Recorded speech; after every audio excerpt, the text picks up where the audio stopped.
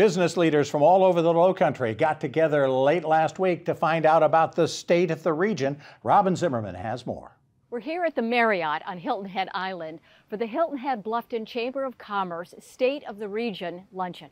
To kick the luncheon off, there was a QR code where folks throughout the luncheon could answer certain questions like what are the biggest issues in Bluffton and Hilton Head and Hardeeville and the County of Beaufort? And the answers were all similar. The issues with growth, and the traffic and transportation and workforce housing. Many elected officials were here at the luncheon, and of course, the Beaufort County Economic Development Corporation. Mayor of Hardeeville, Harry Williams, has joined us at this wonderful event where Lindsey Graham is going to be speaking. So, what do you expect him to say about the state of the region, Mayor? I, I think that he'll probably emphasize um, getting more funds south.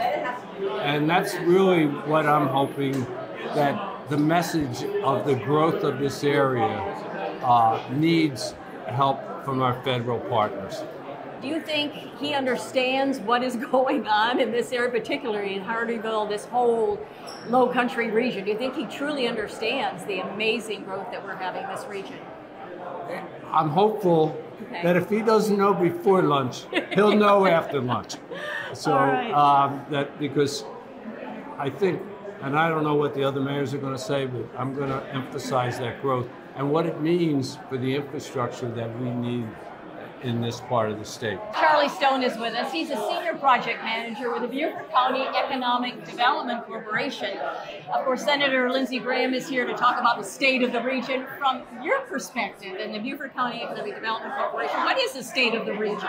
Yes, ma'am. Well, uh, you know, in my role with the Economic Development Corporation, you know, obviously we're very focused on business attraction as well as business retention, uh, but we're also focused on kind of a balanced wheel approach. You know, how does economic development play into uh, workforce, workforce housing, um, as well as education and conservation? So I'm excited to hear the senator speak about just the convergence of all these different factors that are important to our community here in Beaufort County.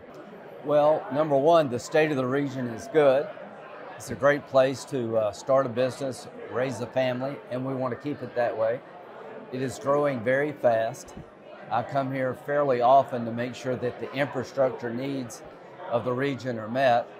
One of the reasons I voted for the uh, infrastructure bill that was somewhat controversial among Republicans is it had a billion dollars allocated uh, for South Carolina infrastructure needs. I'm sure Georgia benefited also. But the one thing you have to understand about this region, if you don't stay ahead of the game, you'll get left behind. A lot of people come here for tourism and they need to have a good experience. They can't be on the roads for hours. You're not going to live here if you can't drive around. One of the big benefits of this bill is to improve broadband internet access for rural areas. I've been here enough to know that cell phone coverage is spotty, so it's my hope by 2025 you'll see a uh, increase in internet and broadband services in this part of Georgia and South Carolina. For the region to stay what it is today, you have to invest in quality of life issues. I was at the Beaufort Hospital uh, just a few months ago talking about expanding the hospital.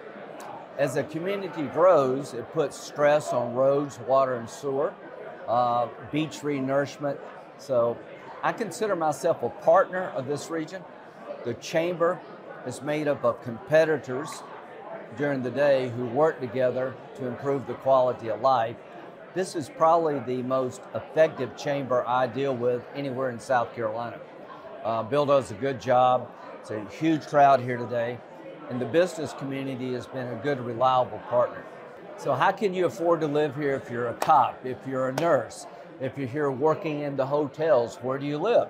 Charleston has that same problem we have an affordable housing problem all over the nation. We have an inventory problem. One of the problems we have is finding people to build houses. Right. We're going to have to develop our workforce. I am pro immigration, legal immigration. I want to make sure that every American has a chance to get a job. But there's some people throughout the world that would love to come here and work temporarily to help us with our economy. So, one of the things the Chamber is dealing with is to creating affordable housing for people in the workforce. You know, this is a tourist destination, but this is also home. And if you're a police officer, you're a nurse, uh, uh, you're a school teacher, or you work in one of these hotels, we've got to make sure there's a place for you and your family to live that's quality and affordable. And that's a big problem along the coast. So you want to you want to make sure that if you're born here, you stay here. Right. My goal is to make sure that people who want to live here all of their lives can have jobs beyond the tourist industry. So broadband internet is the key to growing the non-tourism part of the uh, uh, of the economy. You got to have a, a reliable labor force. You got to have affordable housing for people to build in this area. In closing, Senator Lindsey Graham said the state of the region is actually very good, except there are challenges. Back to you at the desk. Thanks, Robin. When we come back, we'll lighten things up a little bit. Loco Sports is next.